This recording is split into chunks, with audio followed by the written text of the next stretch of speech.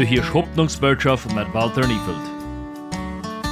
Lieve vriend, lieve broeder, lieve zuster, oh, bij vreemd dat je wat daar zijn. God geeft ons gelegenheden om leven vrucht te brengen. Gouden te doen.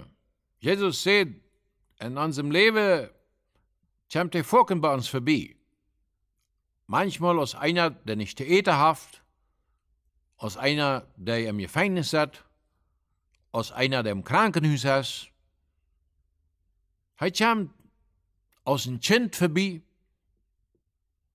En we hadden gelegenheid vrucht te brengen. Aber wanneer we nicht die Augen haben, wenn wir all diese Gelegenheiten nicht sehen, dann gehen wir die Gelegenheit verloren. Die Gelegenheit, Frucht zu brengen, dat Jesus bei uns eten dat. Dat Jesus von unserem Lebensbaum eten. Bils wie nicht die Augen aufgehaut haben.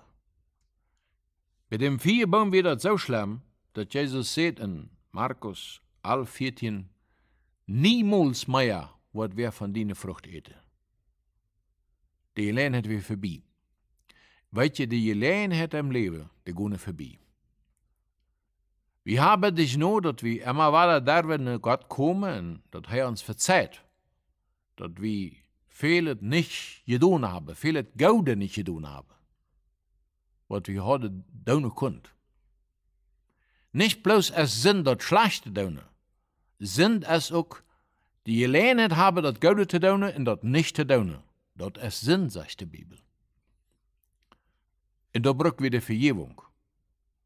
Was verpasst ist, ist verpasst. Aber wir können Gott fragen, ob er uns nie Gelegenheit gibt.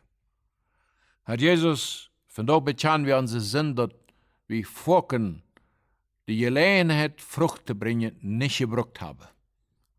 Dass wir vorken best bei uns vorbeikommen, als wer der Not ist, der nicht zu eten hat, als ein Kind, das Leben braucht, als een nächster, der gefangen ist, der im Krankenhaus ist.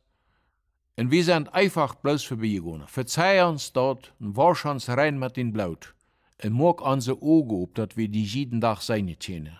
Dort beten wir in den Namen Jesus. Amen. Bis zum nächsten Mal mit Hoffnungsbotschaft. Das war eine Produktion von Jesus Responde al Mundo de Hoy. Töp mocht bij de noemen Jesu groot schrijven over Paraguay en de wereld. Contactier uns unter info.jesusresponde.com.